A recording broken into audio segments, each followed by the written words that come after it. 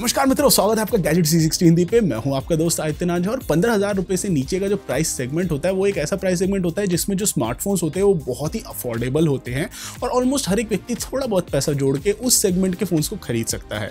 तो आज हम आपके लिए लेके लाए हैं वो लिस्ट ऐसे स्मार्टफोन्स की जो कि पंद्रह हज़ार रुपए से नीचे नीचे हैं और जिन्होंने हमारे रिव्यूज़ में बहुत ही बढ़िया स्कोर किया था। तो आइए जरा अपनी दृष्टि घुमाते हैं उन स्मार्टफोन्स की तरफ़, जो कि पंद्रह हज़ार रुपए से नीचे नीचे हैं और काफ़ी बढ़िया हैं और भारत में उपलब्ध है अभी। तो अगर आप चैनल पर नए हैं तो भैया चैनल को सब्सक्राइब कीजिए, नीचे वो जो नोटिफिकेशन बेल है, उसको दबा दीजिए। हम वीडियो को शुरू करते हैं।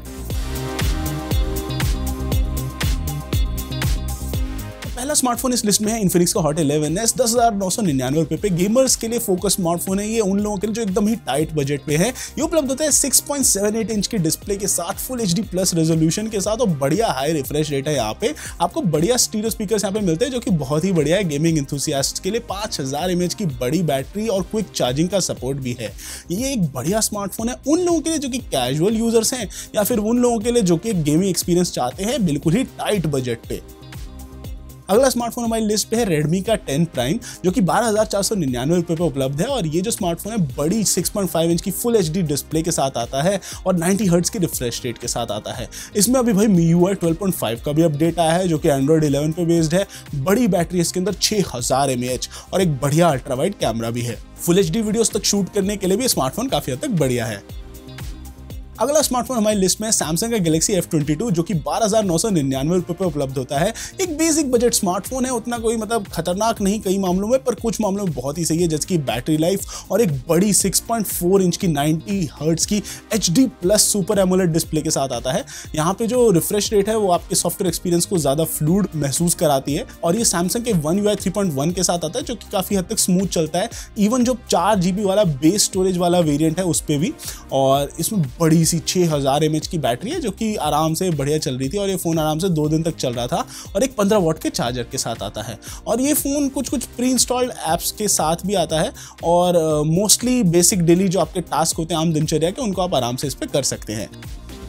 अगला फ़ोन जो है वो है रियलमी द्वारा रियलमी नार्जो थर्टी जो कि तेरह हज़ार चार सौ निन्यानवे रुपये पे उपलब्ध है। एक बढ़िया बजट स्मार्टफ़ोन है और प्राइस को अगर ध्यान में रखें तो ये फ़ोन काफ़ी हद तक सुंदर लगता है और प्लास्टिक से बना होने के बावजूद और 90 हर्ट्स की यहाँ पे भी आपको रिफ्रेश रेट देखने को मिलती है। जो डिस्प्ले और सॉफ्टवेयर एक्सपीरियंस है वो काफ़ी हद तक फ्लूड था यहाँ पे। जो नार्जो थर्टी है वो बढ़िया फ़ोटोज़ ले सकता है डे लाइट के अंदर और वीडियो परफॉर्मेंस काफ़ी हद तक बढ़िया है फोर के वीडियो शूट करते वक्त भी। पाँच हज़ार की बैटरी यहाँ पे आपको मिलती है और तीस वॉट की फास्ट चार्जिंग है इधर और बढ़िया बैटरी लाइफ के साथ भी यार ये स्मार्टफ़ोन आता है।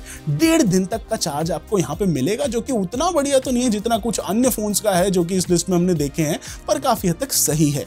नार्सो थर्टी जो है, बढ़िया है मिड लेवल की गेमिंग के लिए, और ग्राफिक्स इंटेंसिव गेम्स भी ये अच्छे से चला लेता है। लास्ट जो हमारी लिस्ट पे है, वो है Redmi Note 10 स्मार्टफ़ोन जो कि बारह हज़ार नौ सौ निन्यानवे रुपए पे उपलब्ध होता है और ये 6.43 इंच की एमोलेड डिस्प्ले के साथ आता है। कॉर्निंग गोइला ग्लास 3 की यहाँ पे प्रोटेक्शन है और ये जो फ़ोन है, याद है स्टीरियो स्पीकर के साथ यहाँ पे एक इन्फ्रारेड एमीटर भी दे रखा है। तो भैया, ये सिर्फ़ शॉमी के ऐसे फ़ोन होते हैं जिनमें इन्फ्रारेड एमीटर भी दे रखा होता है और ये कई कई सिचुएशंस में काफ़ी काम आ जाता है। जैसे कि जिम में जब हमें हमारे स्टीरियो का रिमोट नहीं मिल रहा होता है उस स्थिति में तो ऐसी स्थिति के लिए ये बहुत ही बढ़िया फ़ोन होता है। और इसी के अलावा इसमें यहाँ पे आपको क्वाड कैमरा सेटअप मिलता है और Redmi Note 10s आता है चौसठ मेगापिक्सल के प्राइमरी सेंसर के साथ। बढ़िया बैटरी कैपेसिटी है, पाँच हज़ार की। और स्टोरेज ऑप्शन भी यहाँ पे सही से आपको मिलते हैं, जैसे कि चौसठ और एक और काफ़ी हद तक सही है फ़ोन खरीदने के लिए।